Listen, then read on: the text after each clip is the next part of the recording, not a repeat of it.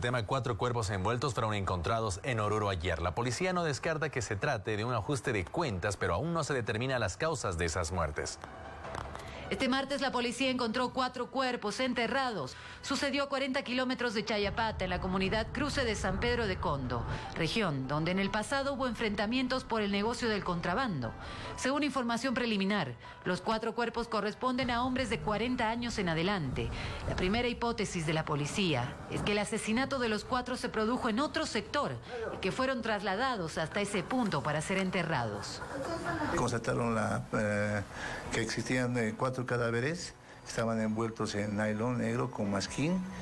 Eh, realizaron el médico forense una, un examen externo. En este examen externo y de manera extraoficial se conoció que los cuatro habrían sido baleados. Sin embargo, la data y el mecanismo de la muerte recién saldrán a la luz cuando se termine la autopsia legal a los cuatro cuerpos. Este caso se abrió el pasado 29 de agosto cuando familiares de los ahora fallecidos reportaron su desaparición en Santa Cruz. La policía indica que las características son similares y por ahora lo que se busca es identificar a las víctimas y además conocer su entorno para así dar con el móvil de este asesinato múltiple. Contaron la desaparición, pero eh, había la denuncia de oficio para que se pueda realizar el trabajo. Presumiblemente son eh, familiares y son, eh, si no, tienen alguna relación de amistad. Por ahora la policía no descarta ninguna hipótesis.